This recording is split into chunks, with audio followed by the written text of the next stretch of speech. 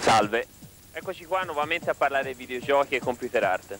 Nelle puntate precedenti abbiamo parlato dell'esplosione che questo mercato ha avuto, da mercato ristretto, mercato di nicchia, a ormai una realtà che rappresenta il terzo gradino nel mercato dell'entertainment.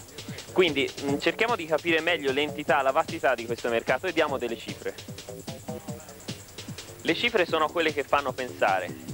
Più di mille titoli commerciati nel 1996, prodotti come Command Conquer, F1 GP, Quake hanno venduto più di un milione di copie. E se moltiplichiamo per un valore medio di 100.000 lire a prodotto, arriviamo a una cifra di 100 miliardi di giro d'affari per ogni singolo prodotto, il che non è affatto male.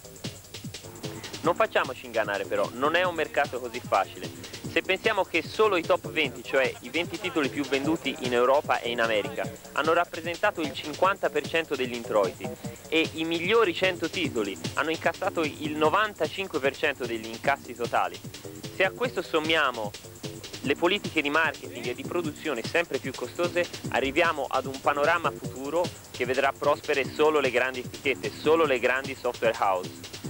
Per questo a svantaggio dei medio-piccoli sviluppatori, che comunque fino ad adesso sono stati, secondo noi, i migliori apportatori di creatività e originalità. Noi comunque, dico, noi di Naima, siamo convinti che vale la pena di tentare. In fondo giochi come Doom, Worms o Pinball sono giochi semplici, che però hanno venduto molto, moltissimo. Pensate che Doom è stato realizzato da due studenti americani, un gioco che ha venduto milioni di copie e che ha rappresentato un culto, un nuovo genere, una nuova categoria. Insomma, da quando Doom è uscito i cloni si sono letteralmente sprecati. Basti pensare a MDK, Quake, Exen, Tomb Raider. Se quindi siete bravi programmatori C o assembler, grafici 2D o 3D e comunque avete ottime idee, vedrete che potrete trovare un produttore che sia disposto ad investire su di voi.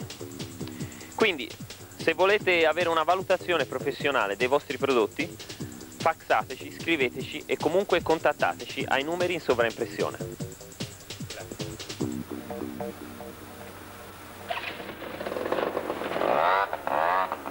Adesso devo andare, ci vediamo alla prossima puntata, ciao!